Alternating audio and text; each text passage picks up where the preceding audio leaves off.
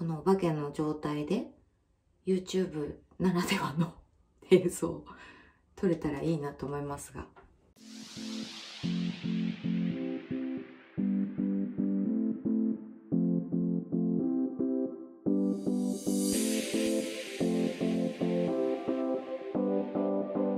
こんにちは。えー、今日はですね、えー、私のちょっと今の謎の髪型についてお話できればいいなと思います。なぜ私はこの謎の髪型をしているのか、えー、皆さん疑問だと思います。前のね、動画ではショートカットだったのに、今濡れてますけど、このぐらいの長さある感じなんですけど、この3日ですごい伸びた気がする。なわけないか。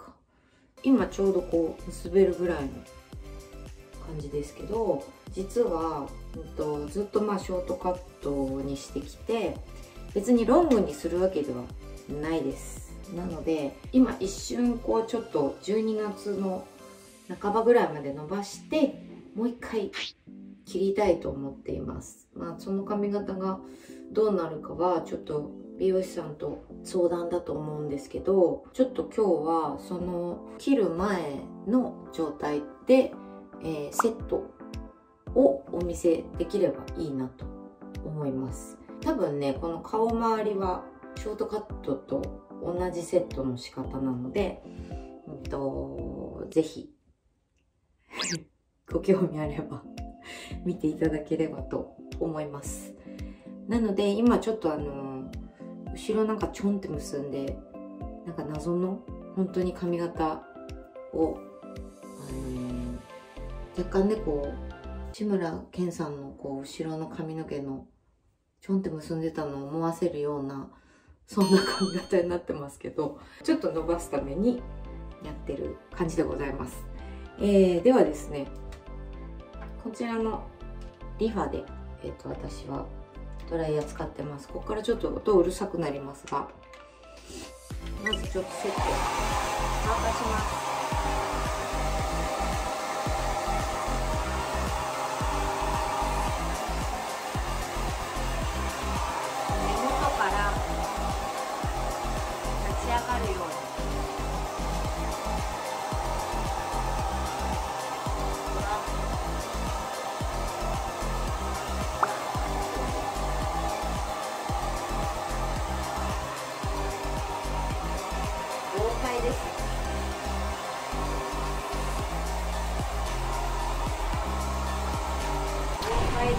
豪快であるほどいい。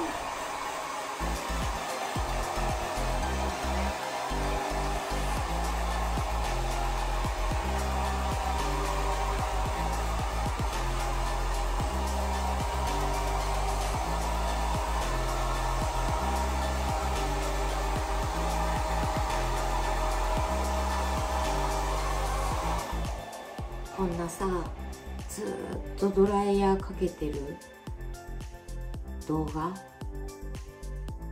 興味あるかわからないんですけどこのお化けの状態で YouTube ならではの 映像撮れたらいいなと思いますが続きをご覧ください。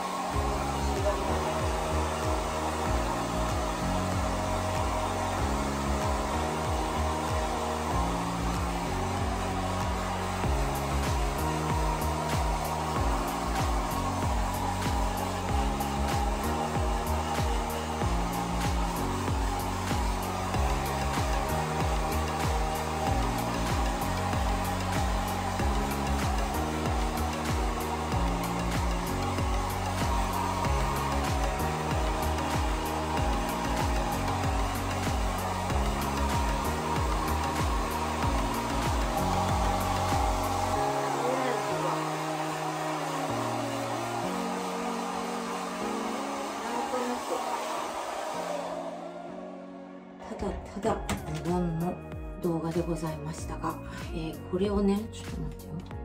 ちょっと高くしようか、ね、今乾かしただけでまあこう斜めになります。こっちもねできなくはない。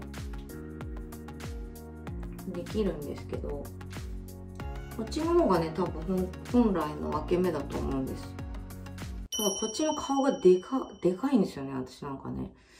ちょっと今歯直してるんで治ったらいいんですけど。でまあ本来こっち側の分け目でやらせていただいてます。でここから前髪もずいぶん伸びたけどドライヤーとロールブラシ。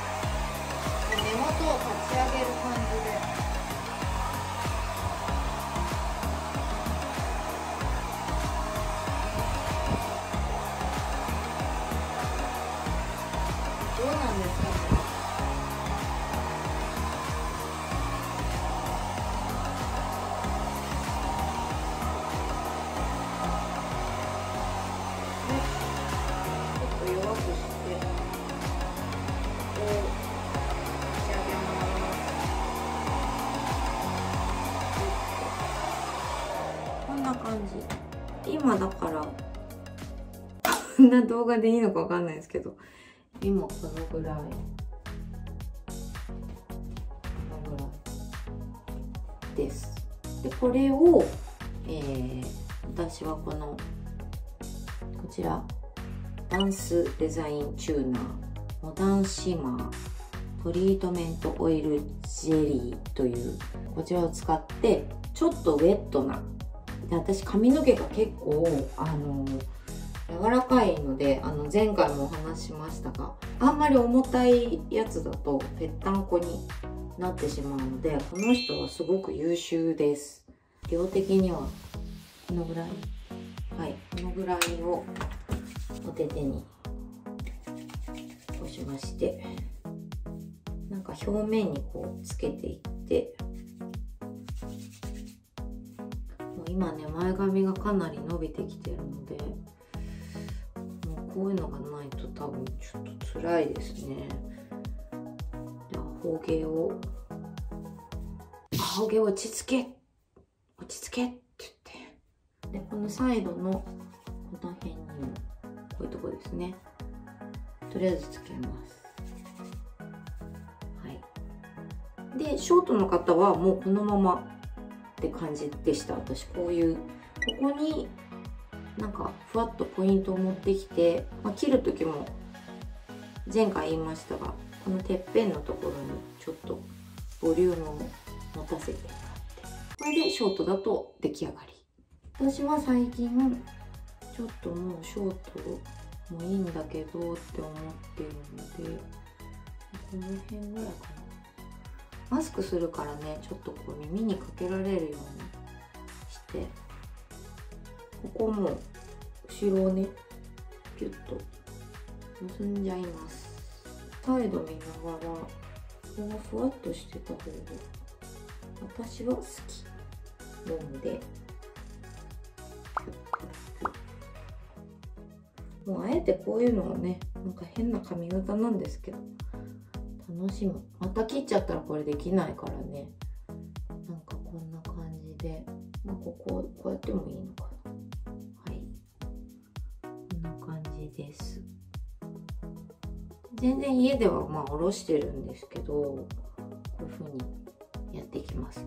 でショートの場合も私の、えー、大好きなケープ崇拝しております。別に CM がやりたいとかそういうことじゃなくもう私をずっと見ていただいてる方ならわかると思う。ケープを愛しています。これ以上のねスプレーはないって私は思ってます。でもねこれあのケープさんを別に否定してるわけじゃなくてあのやっぱこのケープっていうのを持ってるっていうのは美容師さん的にはね若干こう緊張感があるみたいでみんなここをね紙で包んで持ってくれてますがでもなんか最近すごいケープも可愛くなりましたよね。でここのボリュームのところをちょっとこう足す足す感じピッとでこのショートも同じくでございますはいだケープってさ溶かしても白くならないしね。すごいんだよね。本当に。あとねこれのグリーンのやつもとってもいいです。もうちょっと固まんないやつもおすすめ。特に何の 回し物でもないですけど。いつかなんかね YouTube で絡めたらなと思ってます。はい。ということでこんな感じで出来上がりでございました。これからまたあの髪型だけでなくメイクもちょっとやっていきたいなと思いますしスキンケアあと家も見せたいと思いますしあのいろいろちょっとちょこちょこやっていきたいと思いますのでチャンネル登録お願いします。じゃあね